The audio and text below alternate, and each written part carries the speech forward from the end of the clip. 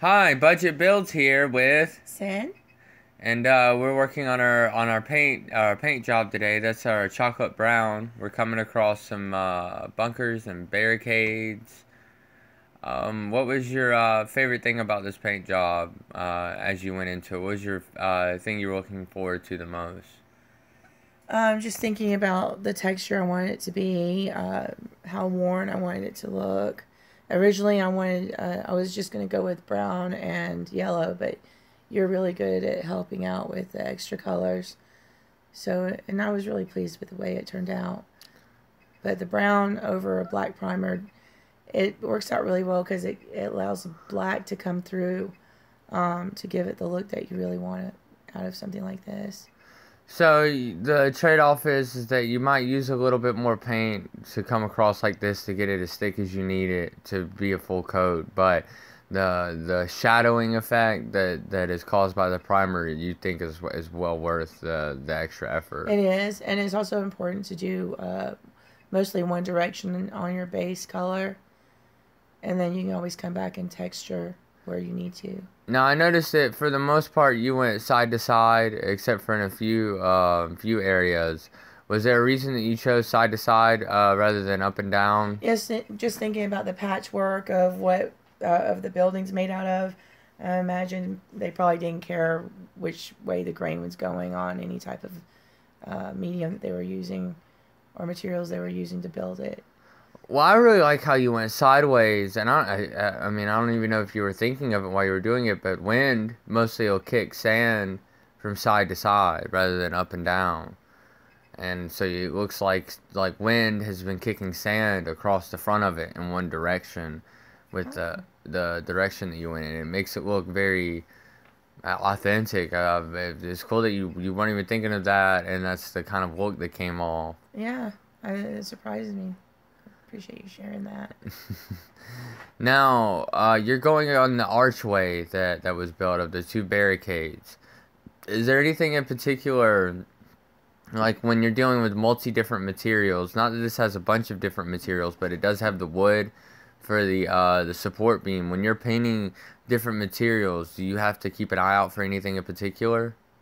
As far as like painting it, Yeah, like how it picks up your uh, strokes, or like how it absorbs the paint, um, how many layers you may have to put in. Yeah, well, I mean, I do think about those things, but it, for the most part, I guess I'm not really understanding the question very well. like uh like versus like like if you're painting cardboard uh say versus painting wood or painting styrofoam yeah. like is there like a different technique of how you brush or do you take into more consideration about how much paint that you put on in that moment Yeah, you start off working in a little area just to get the feel of the medium that you're working with, and usually you'll be able to tell whether or not you need thicker paint, if you need multiple coats of paint, or if you need to go thinner. And also, as you layer, your stroke, your brush strokes will become more light. It won't be as heavy. And see now that we're we're uh looking at the screen we see that we're coming across the the black set so this is the second set of figures uh, or terrain pieces. This was the more cityscape as she had uh, ruined the cityscape as she had mentioned. Um, now, what was the biggest difference of doing this coloring rather than the other one? I see that you're not having to use as much paint because you're just coming across lightly. Right, dry brushing uh, after it's been primed black, dry brushing with gray, and then going back with black and uh, doing the cracks.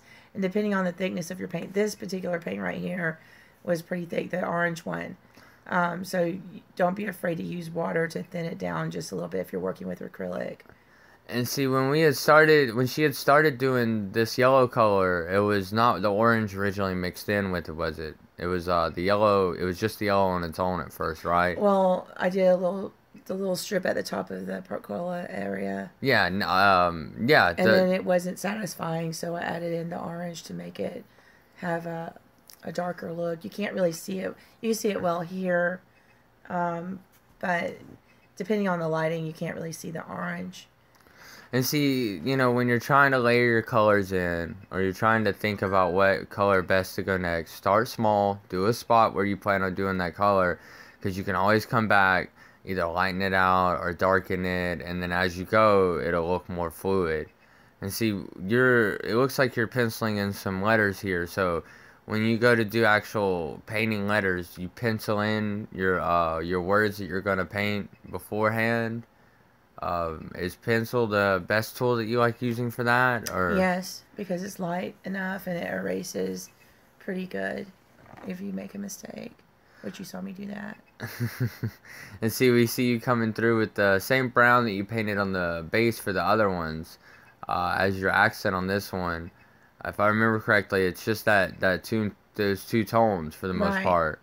And so this this one required a lot less paint. Oh, you're making your grids. Yeah. She's using a, a skewer. Any straight edge will do.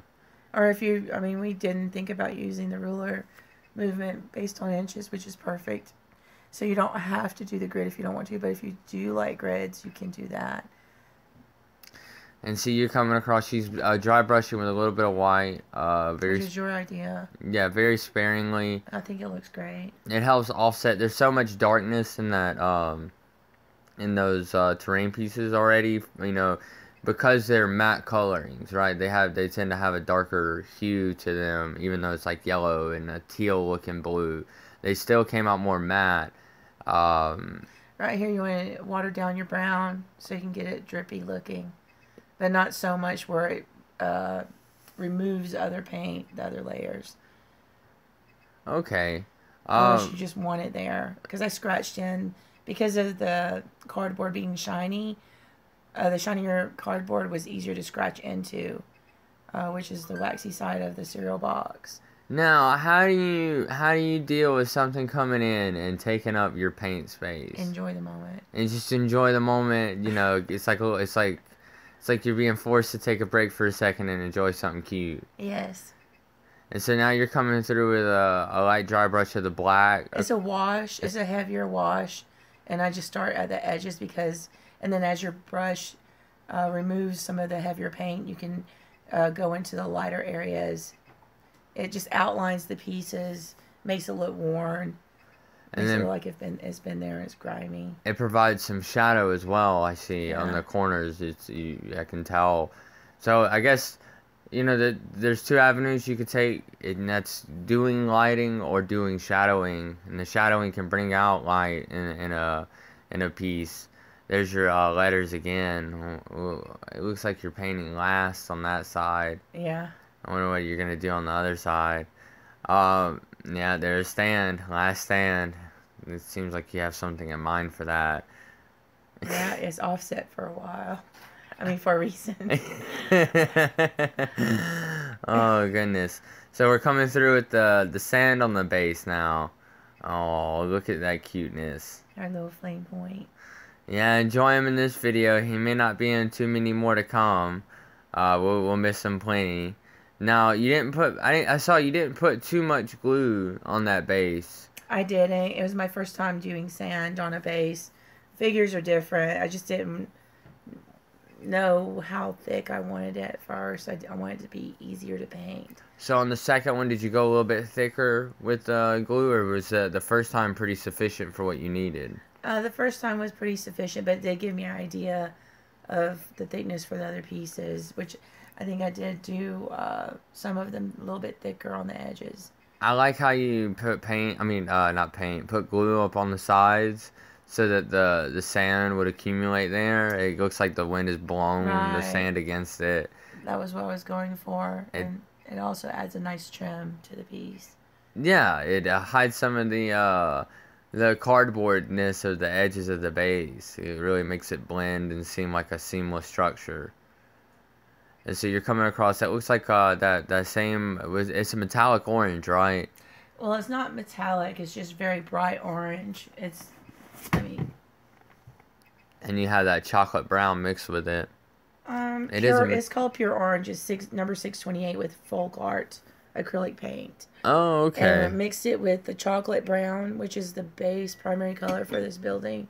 And not to mention, we wanted it to blend in with our mat, our desert desert terrain that we just opened. I feel like it matched very well. Um, I think it blends. It was just the right coloring. You got your pigment on point to match that that matte. uh, when you're going over the sand, um, how long did you have to wait for it to dry before you could paint it? And how did Actually, you? it well, a good while because it. I mean, as much paint as you have to put on it, the, it, the thickness it's, itself will require a lot of uh, drying time. So you have to, as you're brushing, do you have to make sure that you don't pull up layers of sand? Yeah, I was a little impatient. I found that out the hard way. You don't want uh, sand getting on your brush and then You're getting in the clumping paint. up and then becoming loose because it's not glued down good. And I think at um, on some point I rubbed some of the sand off unintentionally, but I covered it with paint. Well, you know, it looks really good. Um, I, I enjoyed how it came out. Both sets, the black set and the more orcish looking set. Uh, if you want to see more content like this, just uh, hit subscribe. Uh, if you don't mind liking our content and uh, leaving a comment, be much appreciated. There, um, more than likely right now, we'll interact with you if you do comment. Uh, just uh, just stay in tune for more. And if you want to participate in our channel, our hashtag is down below. And uh, have a pleasant day.